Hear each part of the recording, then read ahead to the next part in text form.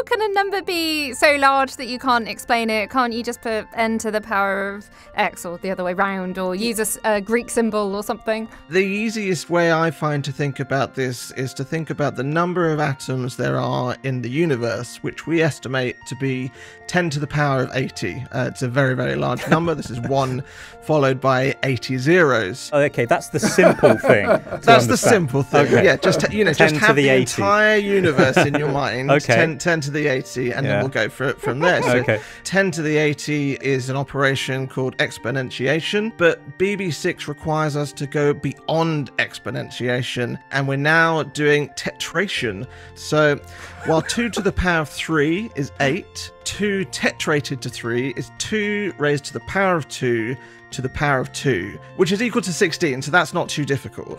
but 2 tetrated to 5 is a number with almost 20,000 digits. Okay, we're getting we're getting quite big. Yeah, that number's actually quite small Yeah. uh, when compared to, to BB6, though. So, remarkably, BB6 is at least 2 tetrated to the 2, tetrated to the 2, to the 9. Uh, so, this is this tower of iterated tetration. And I, that's that's the best I can do. I, I can't I can't compare it to anything that's even remotely familiar. It's absolutely ludicrous.